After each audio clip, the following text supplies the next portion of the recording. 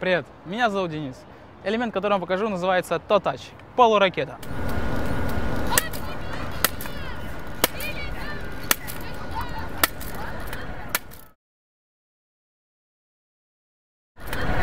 Давайте. По технике это тот же трюк, что и ракета.